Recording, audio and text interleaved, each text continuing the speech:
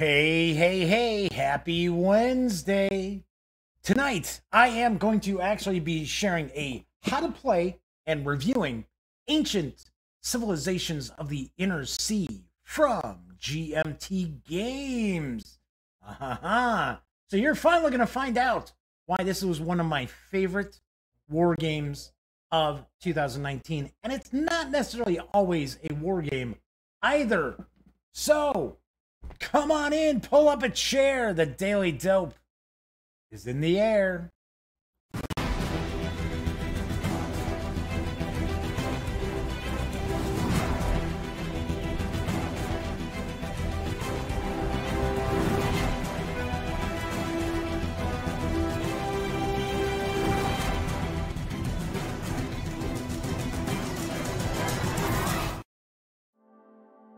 Howdy, howdy, howdy, gang.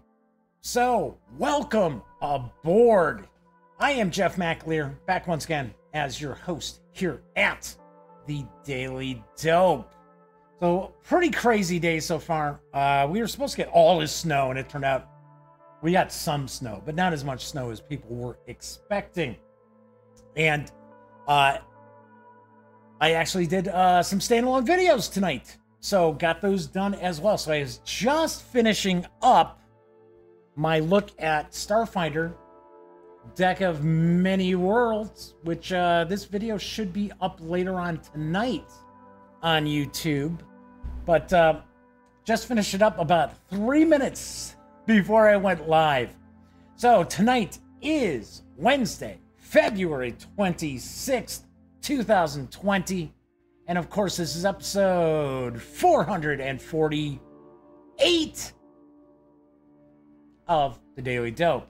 Uh, let me take a quick peek here. I have not had an opportunity to set up chat for tonight. It's always something. I always forget something. That's it's part of it being live, right? So let me pop this on out real quick. So I've got that available to me. So I apologize for not saying hello to everybody in chat tonight because I forgot to have that up and ready. But part of the reason is because I had just finished up shooting the video for Starfinder's Deck of Many Worlds, and I had to set up Ancient Civilizations of the Inner Sea. So it was like, oh man, it's like zip, zip, zip, zip. Thankfully, it doesn't take that long to set up Civilizations of the Inner Sea. Beat Cafe is joining us in chat tonight. Good to see you. Welcome aboard. It is Wargame Wednesday. Tonight, I am going to be taking a look at diving on into and reviewing ancient civilizations of the inner sea from my friends over at GMT Games. It is designed by Christopher Vorder Bruegge and Mark McLaughlin, with development by Fred uh, Schachtner, I believe is the pronunciation on that, or Schachter. Artwork and graphic design is provided by Blackwell Hird, Kurt Miller, and Chechu Nieto. Game is for 1 to 6 players, ages 14 and up. I think that's probably a little high. I would probably go about 12, maybe 13. Plays in two or more hours, and when I say or more, it can be a lot of or more does carry an MSRP of $85. It is available now from GMT Games. As with any GMT game title, as I, whenever I cover them, do unboxings, do reviews, always point out that you want to keep in mind these are not big print runs. So if you are interested in this game following this review, by all means, please make sure to uh, jump on board and grab a copy before they sell out because you don't want to get stung with uh, having to pay those high prices on these secondary markets, like I have in the past for some GMT stuff. Anyway, let's uh, jump on in. We're going to switch over to the other camera. Flaming Herons here in chat. So uh, said they're they're here to interrupt this review. All right, do whatever you want in chat. I don't necessarily have to pay attention to it. so I don't think you're gonna you're gonna knock the wheels off of this review. First thing I want to point out it has a pretty good size board. It is a wide board, so it is essentially two pieces. So just like here and here, I am going to zoom in. We will get a better look at uh, a lot of this as I uh, explain the gameplay and talk about uh, various aspects of ancient civilizations of the inner sea. But I did want to show you just the size itself of the game board. So you're going to need a fairly decent sized table to play on uh, if you are playing with say more than three players because you can play up to six players with this and it and it handles it very very well. Of course it does increase the play time. I will talk about that in just a bit uh, about uh, how well it plays with four five six players. I will point out there are solitaire rules for ancient civilizations of the inner sea i have not played it solitaire i have played it with two players i have played it with four we played most of a six player game. We did not complete it, but we played enough of it where I could figure who was going to win. So, uh, so Flaming Heron said, Oh, yes, yes, because it's like there's a curse with me trying to review this game. Every time I've tried to review this, something has happened. I was going to do a review last week, and last minute I was uh, called off to go uh, keep an eye on my niece so there went that. But tonight, so far, so good. Unless the power sometimes somehow goes out or the internet drops, I think we're going to be all right. So we're going to kind of take a peek, uh, peek around this board here. So obviously enough, this is the Mediterranean.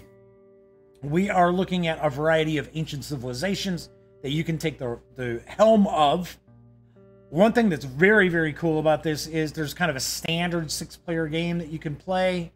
There are all these historical scenarios you can set up. There are a variety of two player, three player, four player.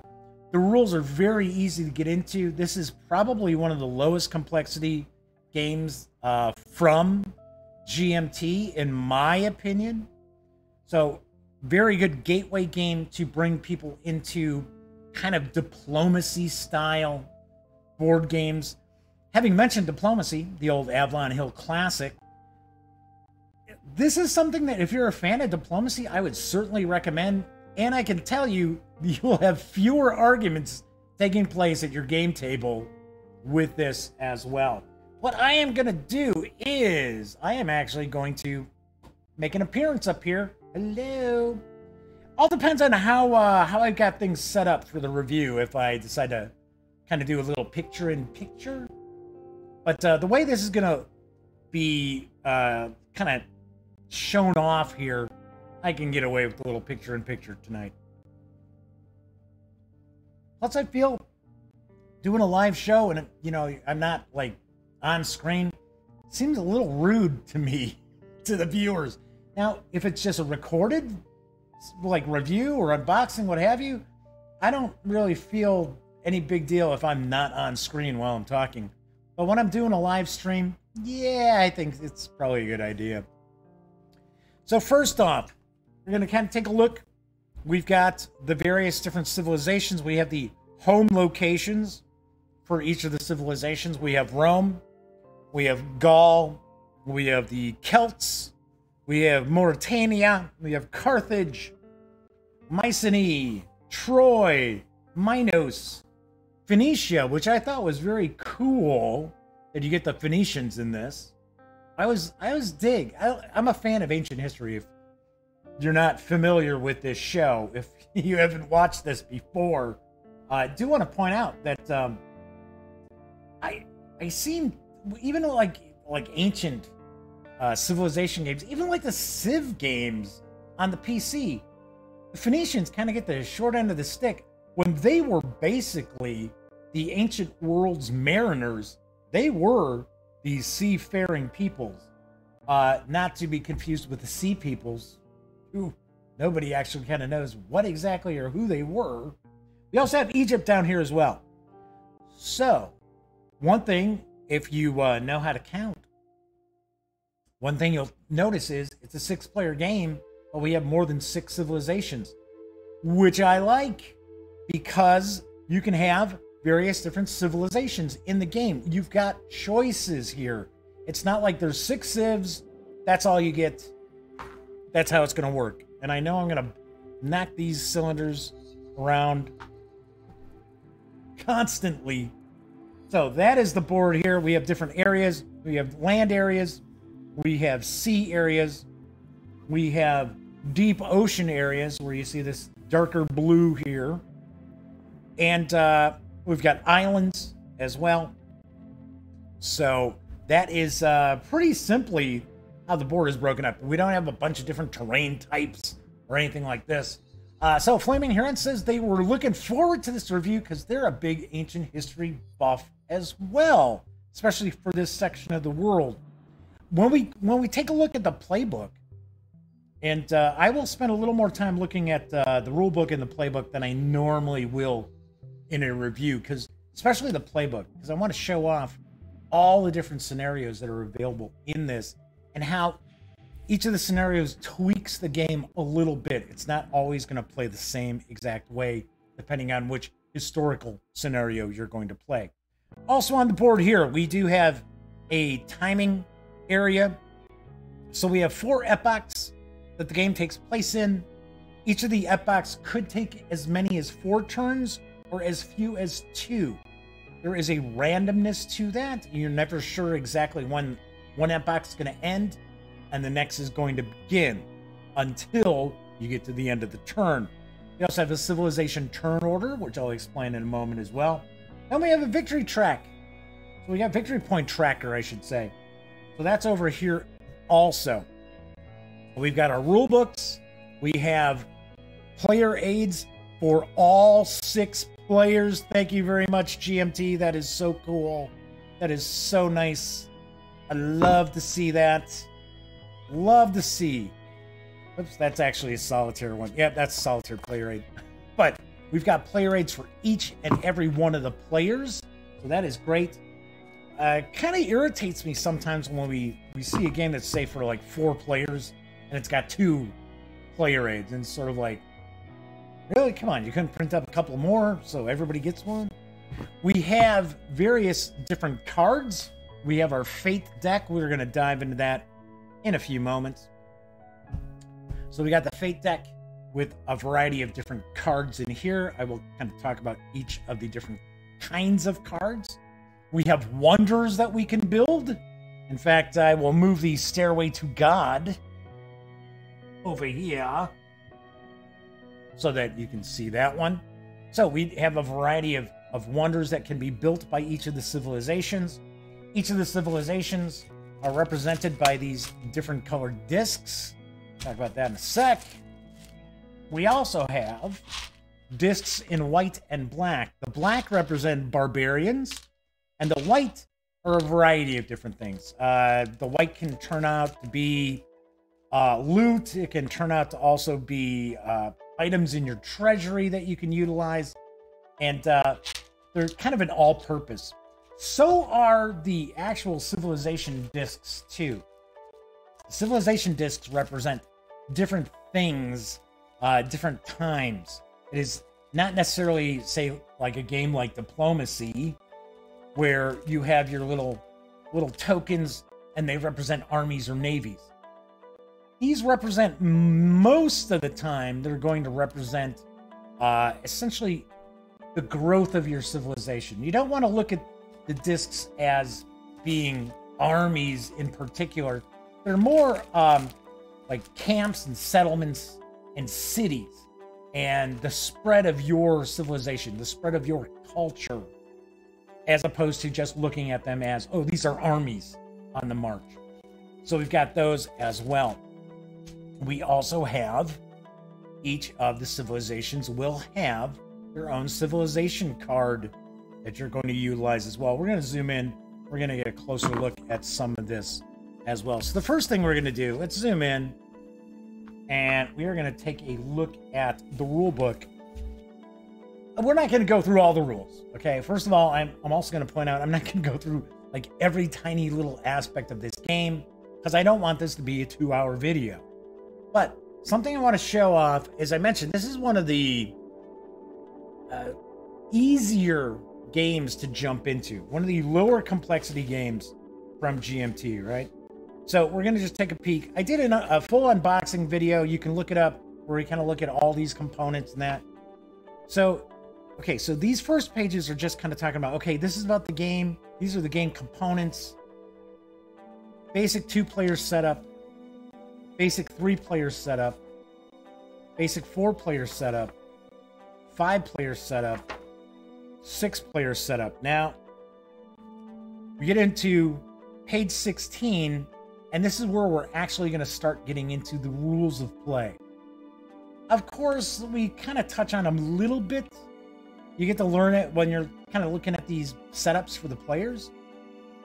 But we get into the main rules on page 16.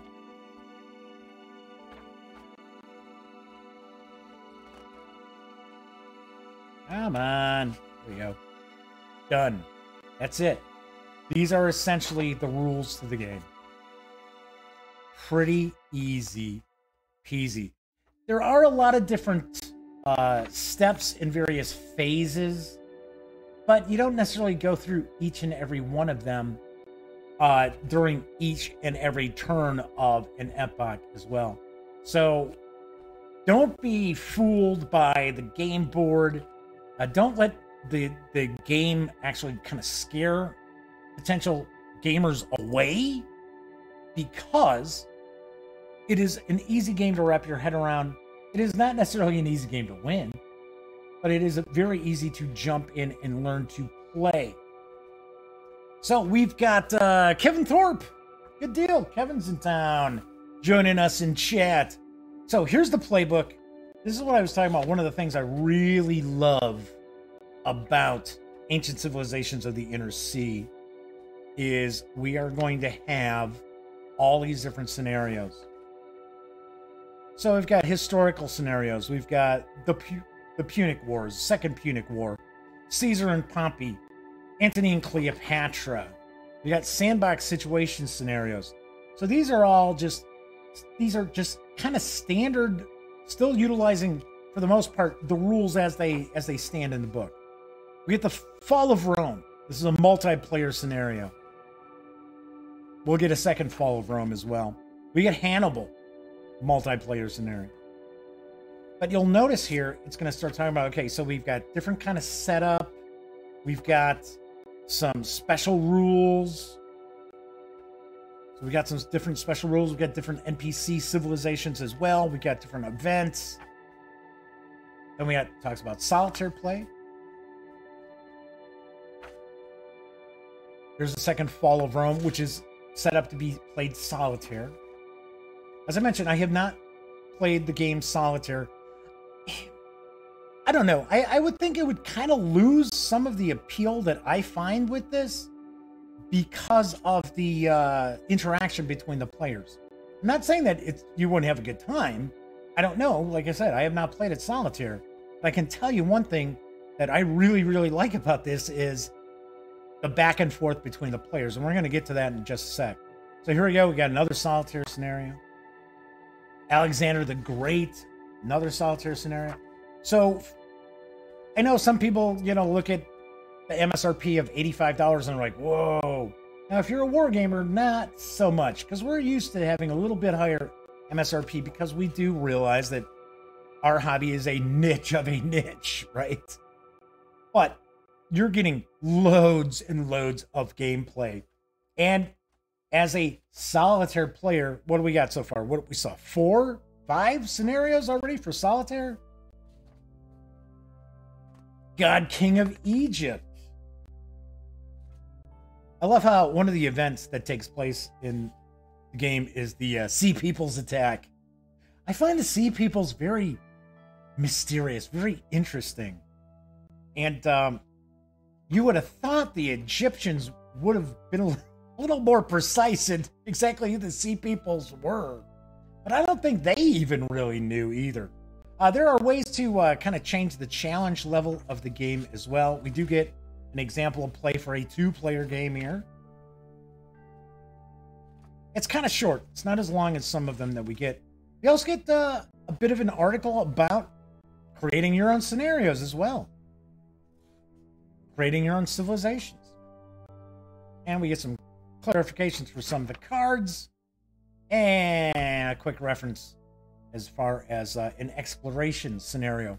Another aspect of the game that I really like is you can make this as much of a war game as you want, or make it more of a civilization building sort of game. Although I will point out, as opposed to, say, like Civilization or Through the Ages, things like that, you're not really going to be building technologies, investing in technologies, and things like that. Uh, but you can make it where this is more of a Euro game because there is a there is a Euro flavor to this. Or you can make this more of, of a war game, of just a little bit abstracted, right? So there you go. So we've got the there are the rule books. And let's take a look at each of our civilizations, the breakdowns of these civilizations here. Gonna zoom in a little closer. And I think we'll we'll pretty much hang out at this this uh, resolution or what have you. So we've got Rome, and you'll have each of the civilizations are going to have their own special uh, uniqueness to them. They they all play a little bit differently. It would have been they could have been a little bit more definitive and unique, but they each have their own thing. So Robert Carroll has stopped by to uh, to check out the show. Good to see you, Robert. Thanks for joining us. I think um, I think this might be the first time we've seen Robert in chat. So welcome aboard. Glad to have you. So we're gonna have the boards here, and each of the players are to utilize their boards. So not only are you to have the information about what each civilization's special abilities are, we're going to have a treasury section here, we're going to have a ready section here, and we have a loot section here. So the ready section is where we are going to take discs from our civilization and and place them to be ready for us to be able to utilize. The treasury is where we're going to actually get white discs for various different things. Same with the loot.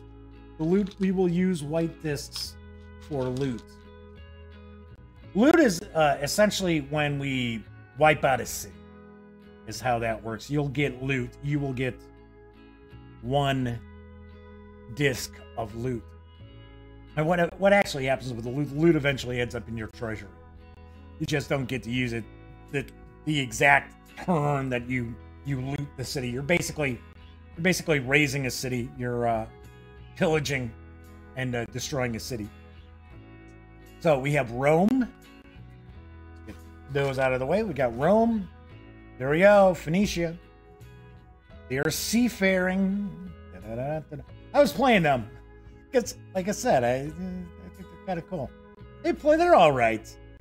Uh, I think I think Carthage and Rome play a little more interesting than than Phoenicia. So we've got uh, Hannibal and Hamilcar, of course, we're Carthaginians. We've got Troy. Well, well, well. We've got Troy. How about that? We've got Egypt. We have the Celtiberia, which are uh, the Spaniards. We've got Gaul. We've got Mauritania. We've got Minos. And we have Mycenae. So we've got we've got our Greeks. Here we go. We got our Greeks. So those are the civilization displays, and you will keep the keep one in front of you while you're playing at all times. So, as I mentioned before, the game is broken down into different phases. Uh, you know what? I am going to move this board over a bit more so we can get a little more of this into the shot. There we go. Although this this doesn't really match up. So let's ignore this for a second. We're gonna we're gonna kind of focus on on this here. In fact, let's just do this. There we go. Okay. So let's say, for an example, I am to play the Greeks, right? So here we go. You're to start off in just the standard. In the standard game, everybody's to get a dozen discs to start off with. You're to place two in your home location. And then you have the option of being able to place two in every adjacent area to it. So you do that. I'm gonna do this. I'm gonna do that. That's C. Aegean. Okay. So that's how each of the players are going to start off. This is kind of like the shallow sea here. So you do have stacking limitations normally. And you can increase the stacking limitations on land just before we get into the competition phase, which is kind of the battle phase. So Robert Carroll says very solid game can be swingy, and some grognards or civ buffs will not find it historically satisfying. But if you approach it as game and not sim civ builder, plays just fine. Yep, I'm right with you on that. Right with you on that. Uh, you can you can play this more. It's kind of like a Euro game where you don't have a whole lot of conflict. Uh, once we get in where I'm showing the cards, that's when you're going to see where you've got a lot of take that going on. And yes, it can. The different cards that come into play, if they're utilized against you, can really, really throw a wrench into your plans. So you're going to start off. These are your settlements. So effectively, if you have one disc, that's considered a camp. Two discs is a settlement. Three discs is a city. So you're going to start off, each of the players are going to have a variety of different settlements.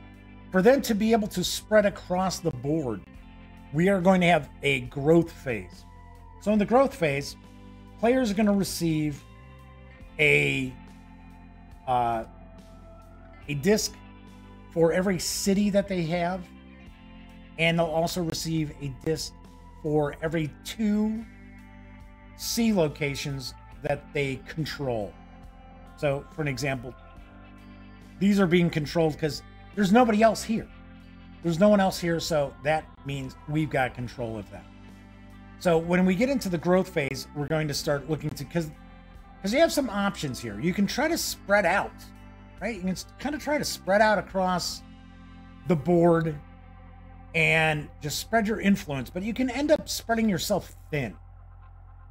And of course, depending how many players you have and where those players are set up, you may not have the luxury of being able to spread out. Because it's possible you can be stuck between, say, like uh, Rome and the Celts, and you're kind of kind of stuck. Uh, so, for an example, you could have the Greeks and Troy. Well, you're not going to be able to spread out too much here. What you can do, though, is you can always place discs into an area that has another civilization's discs in it. Now, you can only place discs adjacent to areas that you already have some sort of a representation in, right? By having settlements or camps or cities. But here's an interesting aspect which I had to always keep remembering because I am so used to playing Twilight Struggle and other games, which when you say, like, you're putting influence in, well, you can't piggyback and chain onto it and put another point like further on. You can't chain together, right? So if I put influence in, or if I drop something here in most games, I can't, if I have more of these to go, I can't just go, okay, boom, now I put it there. In this game, you can.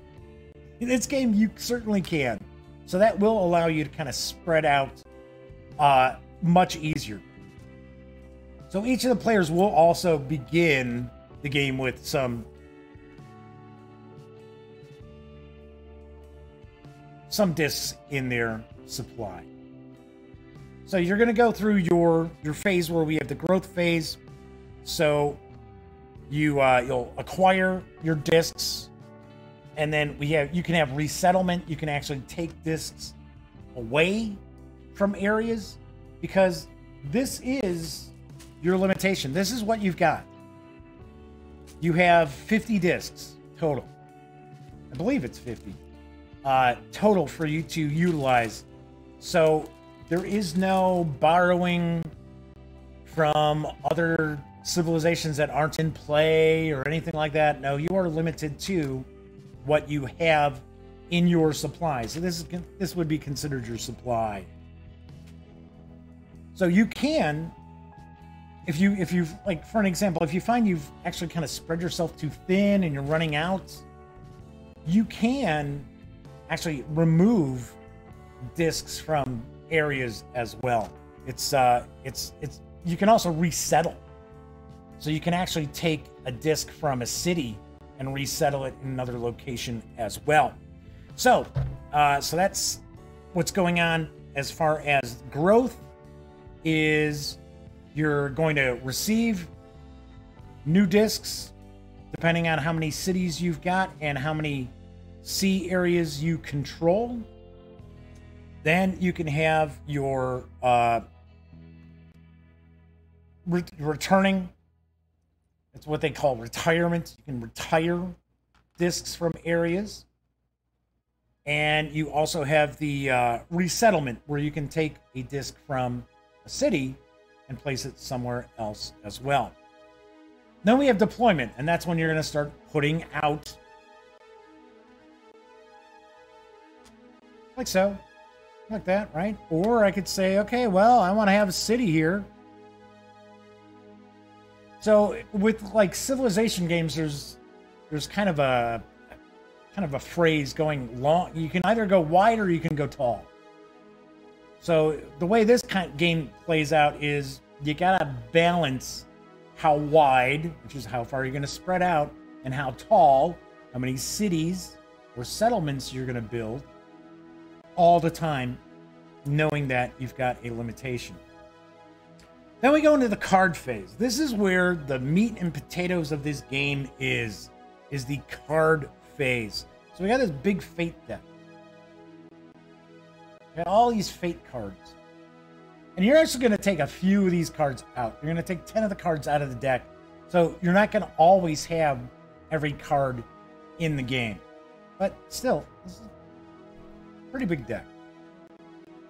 And it's made up of a variety of cards. So we have different types of cards.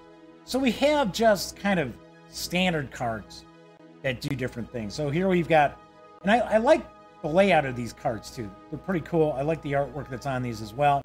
And the card stock's really nice. Of course, as I always say, if it's a game you're going to play quite a bit, you're going to want to sleeve your cards, regardless of how nice the card stock is. So this is kind of a standard card. It says refugees, select a land area adjacent to any map edge. Remove one disc from that area, if any. Then place two barbarian discs there. So remember I was talking about we've got these black discs or barbarians. They can be trouble. So they, they can pop up anywhere at any time, all because of these cards. Now each of the players is going to start with a hand of five cards, and you have a hand limit of six. If at any point in time you ever have more than six cards, you have to discard down to six. It's not wait till the end of the turn or anything like that. Always have to have no more than six cards. So something like this is going to happen again. So it says shuffle back into the draw pile. And I'll talk about shuffling a little bit later. Millennial volcanoes. Remove a total of four discs from at least three contiguous areas. It says set aside when played, shuffle back into the draw pile at the end of the epoch. So as you can see, we already have these different cards that are saying, okay, well, you're going to remove, you're going to remove discs. Uh, you're also going to see, uh, you'll see like opposing civilizations, competition, things like that. That just means every other civilization than your own. So, spy, a great person. Take one card at random from an opposing civilization's hand. Crop failure. Remove one disc from each of the three uh, contiguous land areas. Sea route to Britain. Hey, something good. Gain two talents, which would go, talents go into your treasury here. Says gain two talents, then every civilization that occupies at least one area bordering the Atlantic which is way up in the corner of the board, or bordering the western edge of the map gains one talent. So these are kind of like just regular cards. So you're just going to play them, and in the in the card phase, every civilization in turn order is going to play a card. So I, let's say I, am the first player. I get to play a card. Let's say Cameron's the second player. He plays a card. Then Lexi's the third player. She plays a card. Maybe we're just playing three player game. It comes back to me, and I play refugees. At the at the end of the turn, you're going to have a draw phase. So the most cards you can ever draw is going to be five. So if you are used to kind of card driven games where you're going to kind of play all of your cards in a turn, that sort of does happen in this game quite a bit. You don't have to. Sometimes there's cards you, you might want to hang on to for later on to bust out a, a big whammy on someone. So I see uh, Jorge Rodriguez is joining us in chat. Good to see you, Jorge. Thanks for popping in. So these are kind of the standard sorts of cards. And on the bottom, you always look to see what the bottom says because it, it might say remove the card from play, which means just remove it from the game. Some will say, like this one says, put it to the side. It's going to go shuffle back in at the end of the epoch. Some just say shuffle it back into the draw pile. Then we got events. So there are seven events, and they will have an E. They will have big red banner up top and these are played immediately. When I say they're played immediately, I mean they are played when you draw this card, or sometimes you'll you'll have uh, instructions to draw a card from the draw deck. If this comes up, then you play it immediately. And then, for an example, if you got it in your draw phase, you're going to play it and you're going to replace it with a new card, which could possibly turn into another event. Who knows? But events play immediately. You do not hold these in your hand. So, for an example, here we have Southern Raiders.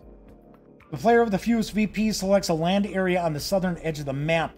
Place four barbarian discs there and four into every adjacent land area.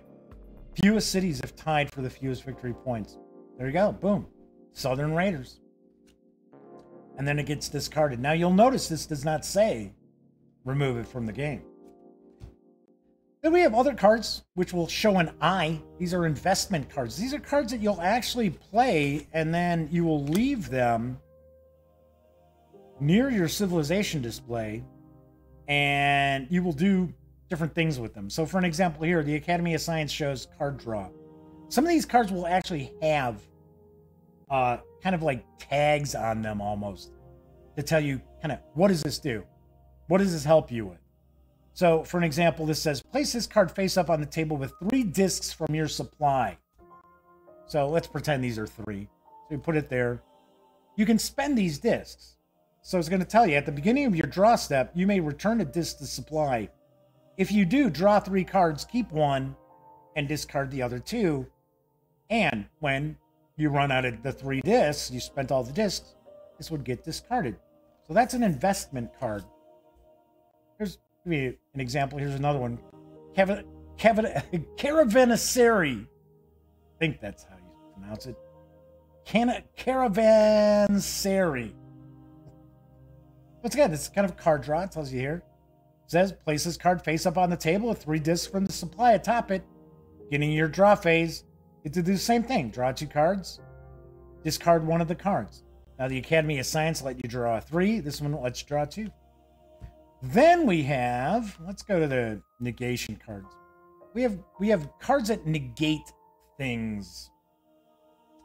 So, and they'll have an N. So when somebody plays a card, uh, and in the funny way, the, the best way I explain this to the to the gang, which they thought was kind of funny, but this is how I explained it and made sense to them, is because they all play Magic the Gathering, either the actual cards or online. I said, you know when you play an interrupt card? They're like, yeah. I said, that's what a negation card is, or a negate card is. It's like an interrupt. So somebody plays a card, and if you have a negate card that can stop it, and if you want to stop it, you're going to play the negate card. So as an example here, right? We had uh then we have a spy. Yep, there we go. We had a spy. So as an example, let's say somebody played the spy card and I've got assassin. Great person says play in response to a great person card, negate that card and discard it.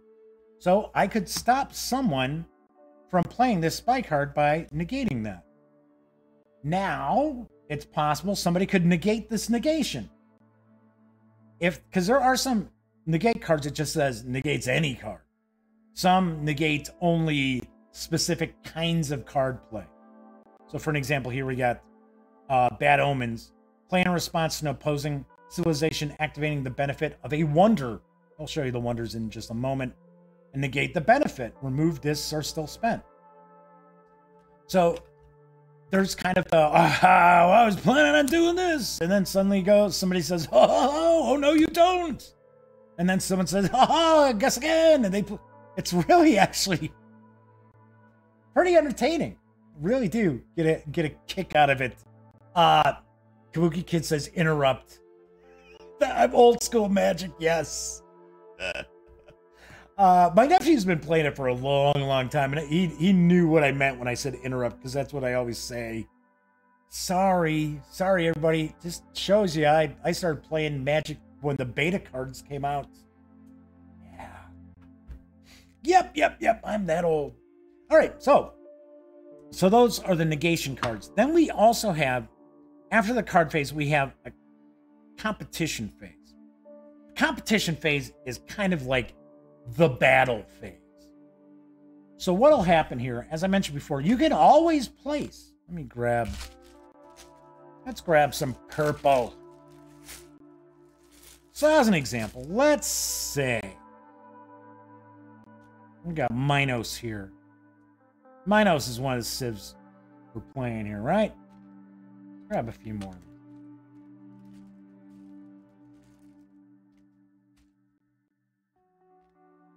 On. Why is it this sticking to my finger? Try to stack them up. So here we have three, we have two. So that's a city, that's settlement. Remember, one is just a camp.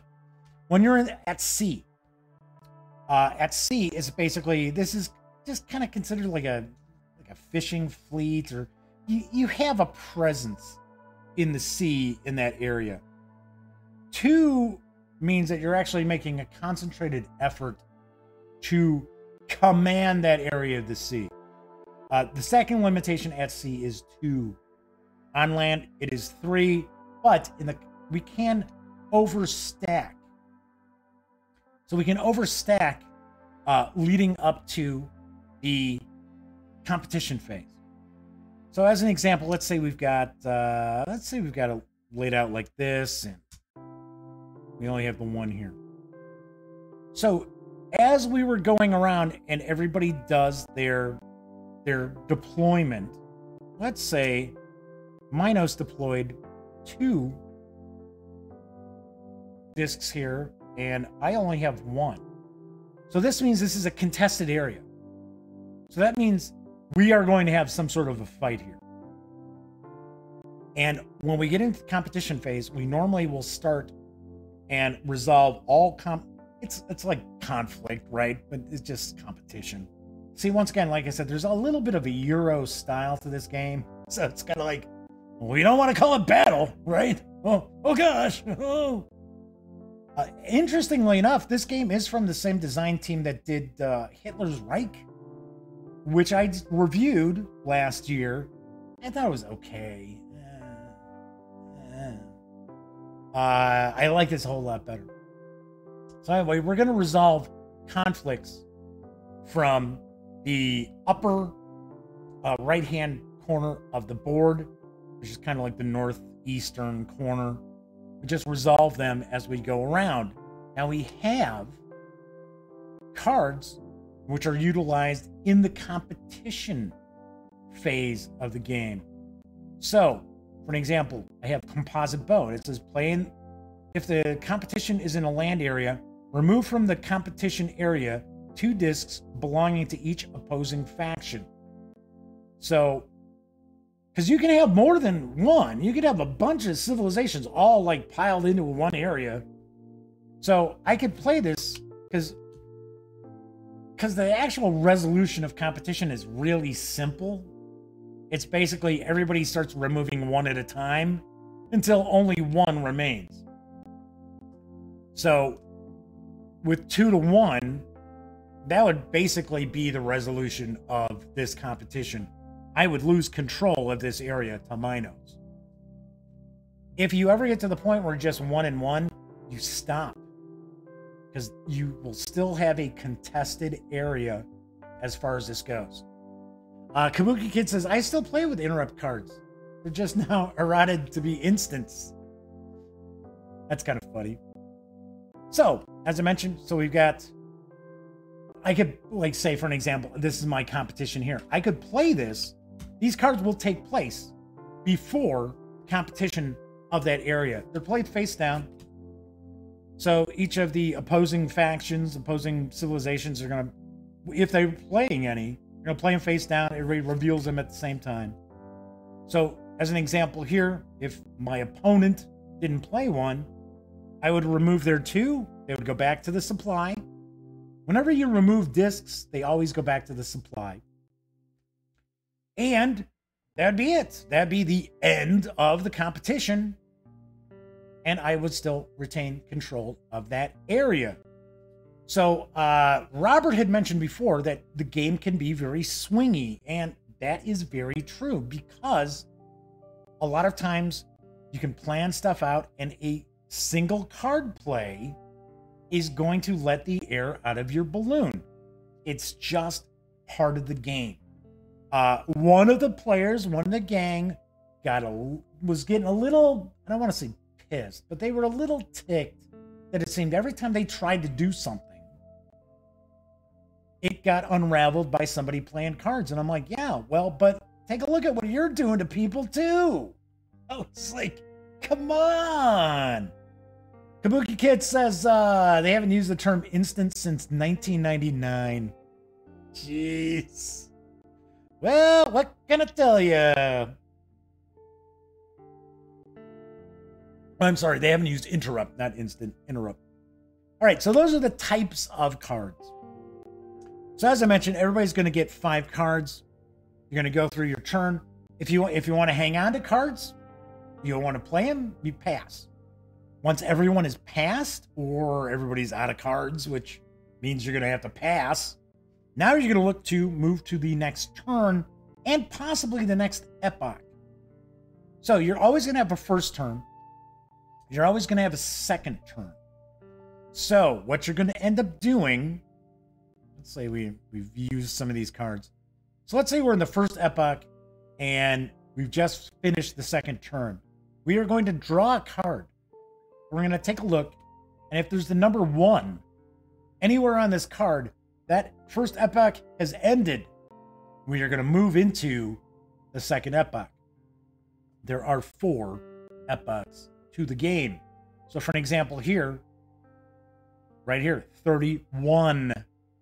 We have a 31, so that is a 1. So we know that is going to end the epoch. One of the cool things that I thought was pretty wild is that we have a change of epoch table. So we're going to look at the card ID. The card ID here is 31. So it's going to say the wrath of God measured and found wanting the civilization with the most VPs loses one VP for every two cities it has rounded down. So we will have like just different random stuff that will happen at the end of the epoch. So if we weren't ending the epoch, and one thing I should say, if we were going from the third to the fourth turn and I flipped it over, it would be a one or a two. That's anywhere on the card. So for an example here, it says place two barbarian discs. That would count as a two. It doesn't have to be the number down here. It can be on actual text of the card. So, uh, so if we were not ending the epoch, what we would do is each of the players would be able to draw three cards, plus uh, one card if they have four or more cities, and they get one more card if um, Oh, that's right. If they spend talent. So let's talk a little bit about these talents. and we'll talk a little bit about removing discs.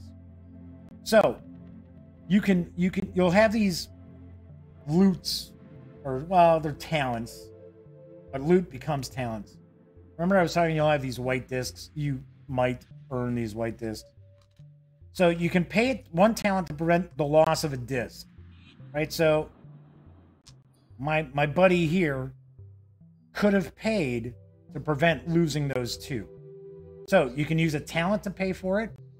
You can also uh, discard a card. You can pay a talent to buy a card during the draw step. You can pay three talents to buy a victory point during the end of epoch phase, which if we were ending the epoch, you would be able to spend three talents in order to get uh, a victory point. Because whatever talents you've got at the end of the epoch, if you don't spend them, they are lost.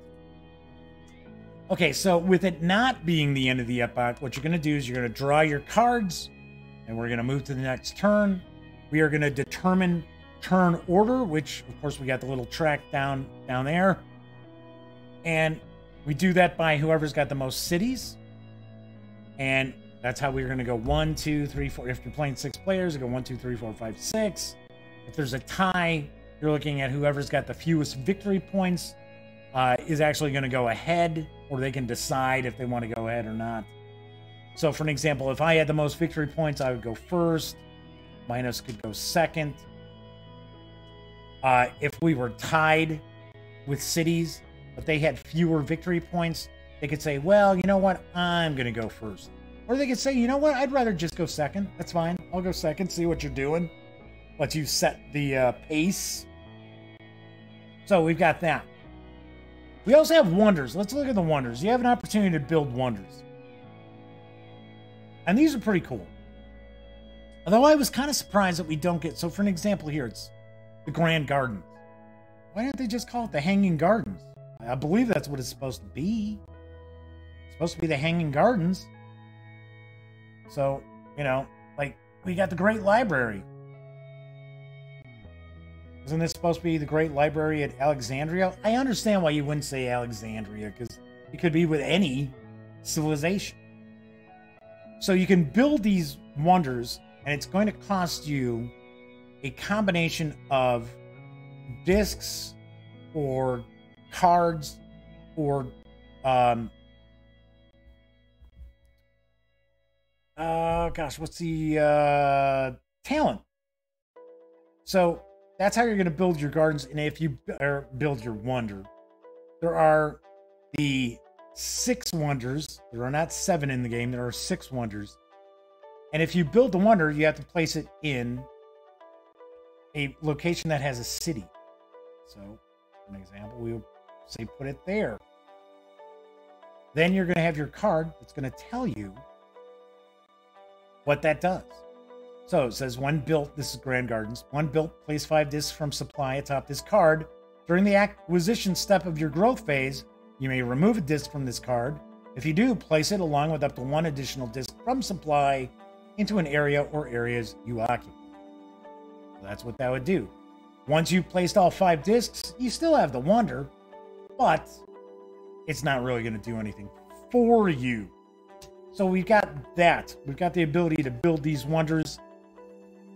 They're interesting. They they offer little wrinkles. What I kind of found was a little odd about them was that essentially you could build them like in the first turn. It's I mean it's it's not impossible Hey, Robert Schneggenberger has arrived. I'm sure I always mess that up. So, uh, Babylonians copyrighted that. I'm looking to see. Oh, it rains. When it rains, it pours. So, Glowing Turtle is here. Hey, sorry about that. When I'm doing reviews and stuff like that, I usually, you know, kind of miss when people are popping in. Glowing Turtle, I am reviewing Ancient Civilizations of the Inner Sea. I'm almost finished, actually. All right, so anyway, uh, as I mentioned, so what you would do if you were not ending the epoch is you would go and just simply start up again. You would have a draw phase. Remember having a hand limit of six cards. And then you're going to determine the, the turn order. And then you're going to go through your growth phase. your card phase, competition phase. There's a reckoning phase where there's just little, little bitty things that you're kind of going through. So, for an example, right? So let's say your civilization is getting shellacked, and you know you're only in like the first turn of the second epic, right? You can effectively kind of throw in the towel with that civilization and play a new civilization. So that that is an option. Uh, I'm not a huge fan of that, simply because it does make the game. Well, I, I don't know. I would think the game kind of drags on a little more than it should if you do that, but I don't know. I, I understand why it's there. I understand it's, you know, player elimination. People do not like player elimination, especially in Euro type games. Yes, so uh, of course Pinky's down here sneezing. So if you heard that, that's what that weird noise was. She sneezes in rapid succession. So yes, good old Pinky came down to visit. All right, so uh, you're going to continue playing till you reach the final turn of the final epoch. And once again, remember, you never know how many turns each of the epochs is going to have. So, as like for an example, when you go from the second to the third turn, yeah, it's a little more likely you may not have, you know, a, a, fourth turn if you get to a third t- turn. Yes, Kabuki Kid says machine gun sneezes. Yep, that is how Pinky operates. So once you get to the fourth epoch, all you basically do, let me move the board here, get some of this stuff out of the way so don't knock it onto the floor. You are going to take peek to see who's leading on the victory point track. So as you can see, the victory point track doesn't go very high because you're essentially getting the victory points for the um, your cities, the number of cities. You get a victory point for each city. You can buy victory points with those talents at the end of an epoch as well. That's pretty much it. That's pretty much where you're getting your your victory points from. And essentially, whoever's got the most victory points wins. Of course, if uh, if you do have a tie, there are tiebreakers as well. So, Flaming Heron asked, uh, sorry I missed it. Do you have any wonders for the civs? You do. I'll real quickly I'll show you the cards. They're all these blocks. It's cool, cool little wooden blocks. We have the six wonders of the ancient world, not seven. I don't know. Got six. So we've got the Grand Gardens, which is basically the Hanging Gardens, the Pyramids, Great Library at Alexandria, the Grand Temple. I'm not positive what that's supposed to be. Uh, I'm not sure if that's supposed to be like the the Temple at Delphi. I'm not sure. Oh, and it looks like we're getting. Um, like we we were dropping some frames there. So hopefully that uh, smooths out.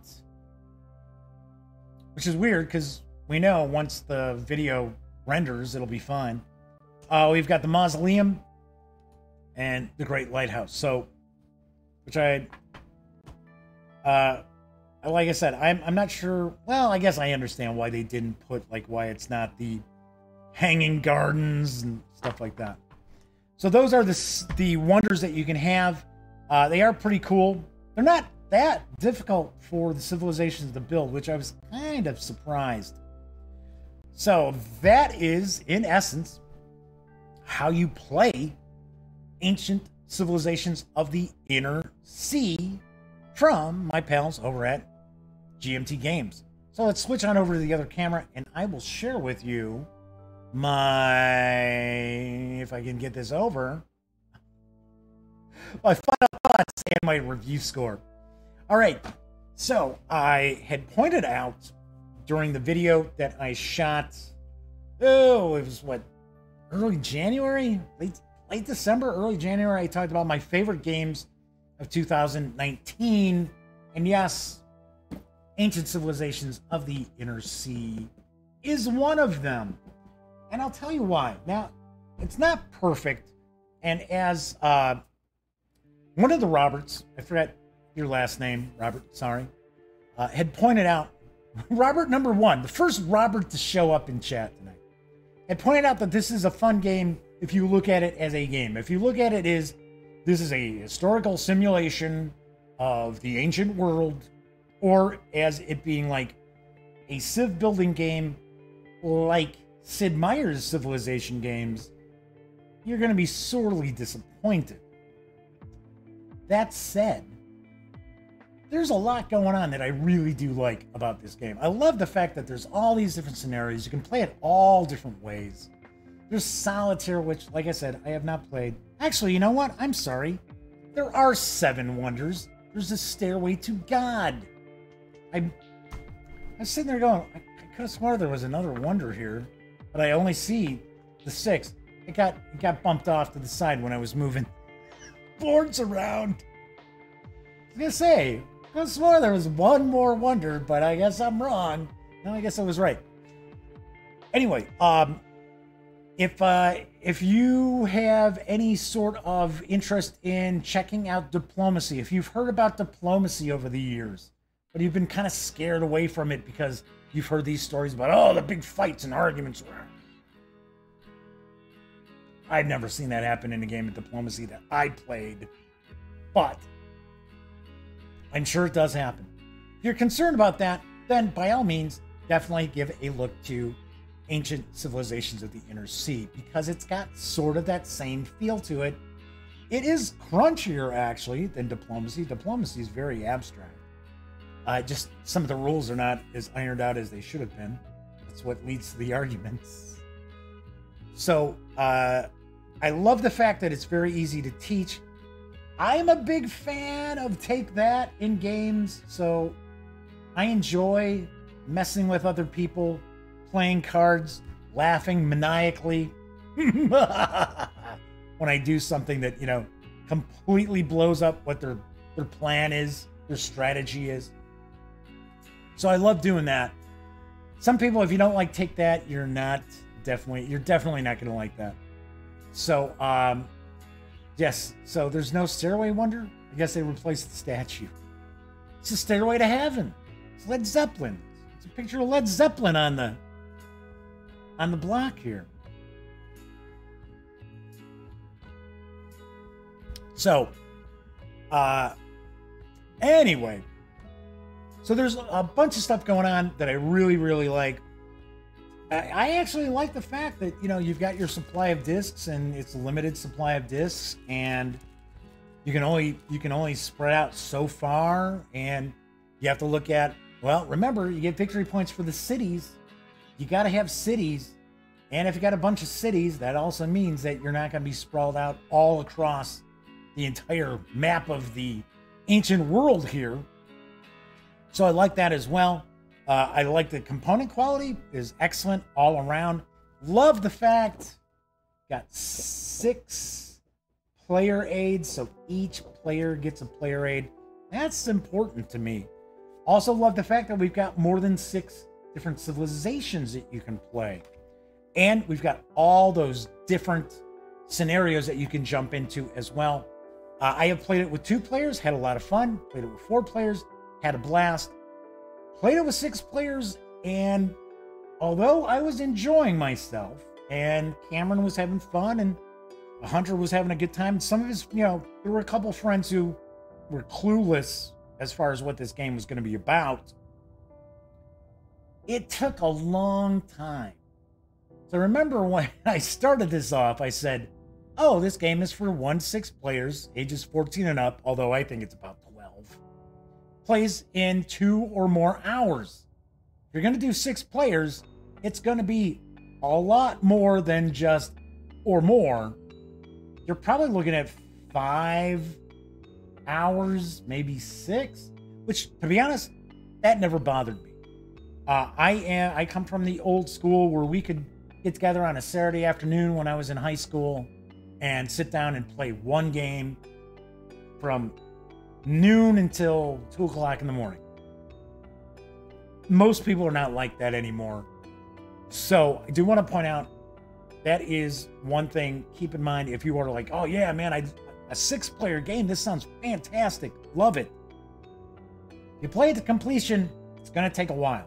Just pointing that out. You're gonna have a good time, especially if you're like sticking it to people, because I like. It.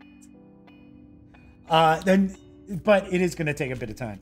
Something else I want to point out: we do have the cards that say shuffle back into the uh, draw deck. There are a decent number of cards that say shuffle back into the draw deck. And unfortunately, it gets to the point where you're doing a lot of shuffling. So, the way I got around it, I'm just how I did it, is that whenever we ran across a card that said shuffle back into the draw deck, we put the card to the side. When we finished that turn, I then shuffled those cards back into the draw deck. I did not shuffle the card back in the draw deck every time somebody played a card that said shuffle it back into the draw deck because then you're you're spending way too much time shuffling cards. And if you don't have the cards sleeved, you're putting a lot of wear and tear on these cards. Even though I said they've got nice nice uh, nice coating on them, nice stock as well. You're still to beat the hell out of these cards, constantly shuffling the deck. So that was just a little, yeah, little, little ding I have to give it. And uh, I do want to point out that yes, it can take quite a long time to play. The more players you have, two-player game you can rock through pretty quickly. About 90 minutes is what it was taking Cameron and I playing two two players.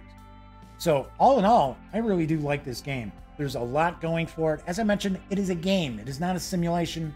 Do not look at it as a simulation. If you look at it as a sim, you are going to be disappointed. If you look at it as, hey, it's cool game that's got a you know ancient history kind of flavor to it, and each of the civilizations have a unique feel to them, then I will wholeheartedly recommend this.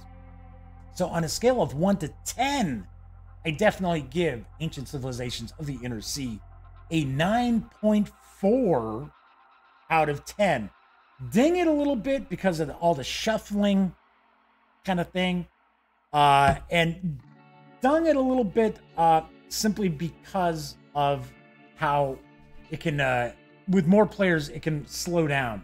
You can, it, it doesn't get bogged down, but it does take quite a bit longer. So that is pretty much it for tonight's show. Let's take a quick look here at chat.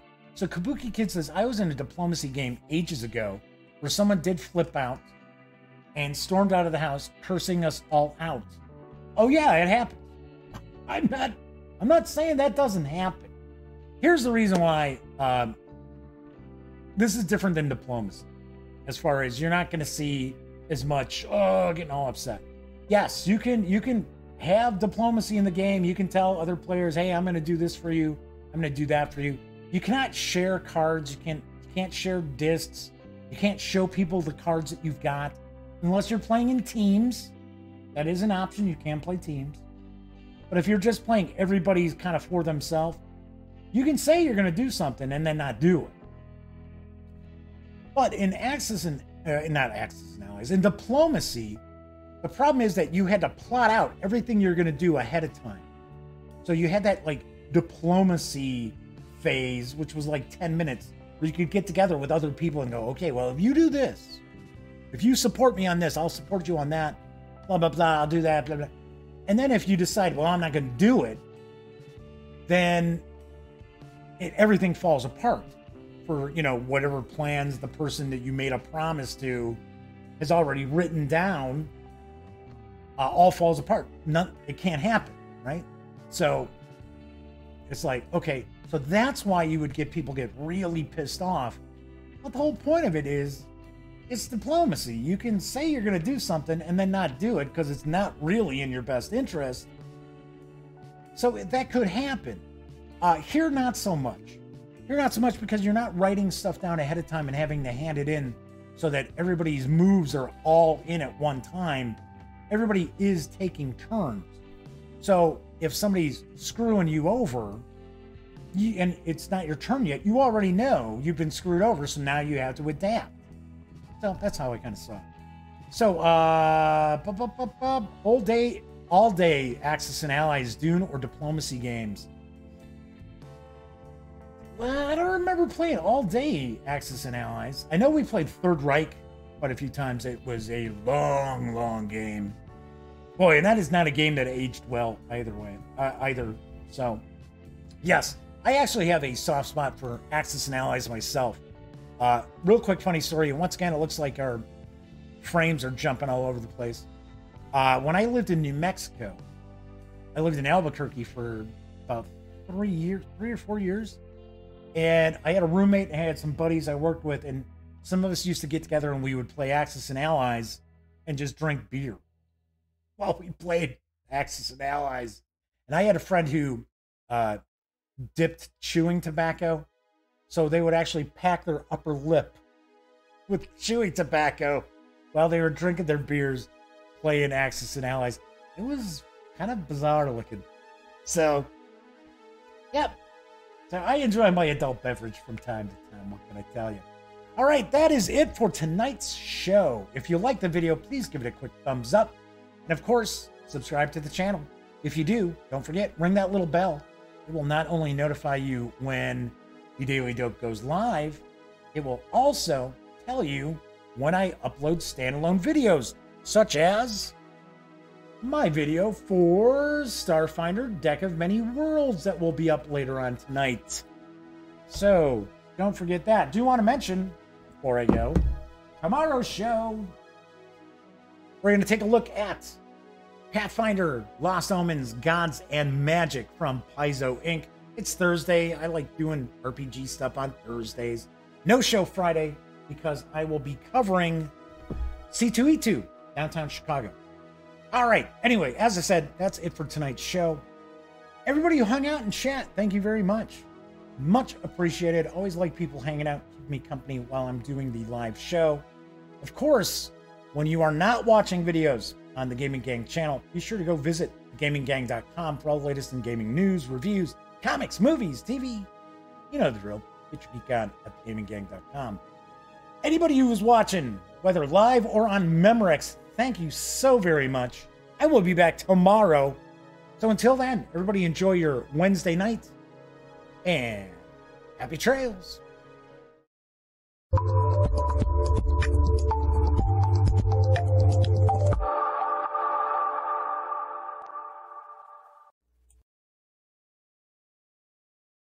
Oh, you're still here. Well, if that's the case, by all means, subscribe to the Gaming Gang channel by clicking right here. And of course, if you want to catch up on past episodes of The Daily Dope, check out this playlist. And if you'd like to see what YouTube's recommending you take a peek at from the channel, just give a click right over here. Of course, I'm Jeff McAleer, and once again, thank you very much for watching.